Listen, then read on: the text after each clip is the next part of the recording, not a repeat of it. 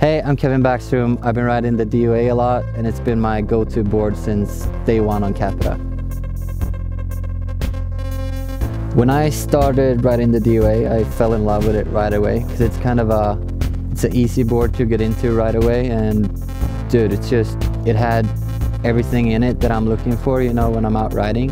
Yeah, I've been riding the DOA pretty much, you know, everywhere from park to like transitions, like side hits and also been riding it a lot in powder.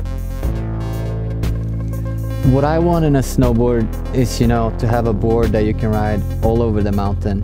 And I'm looking for, you know, stability for hitting big jumps, but at the same time, you know, you can be playful with it and do butters and stuff. To find that right combination is really important to me, and I feel like the DOA does a good job on that.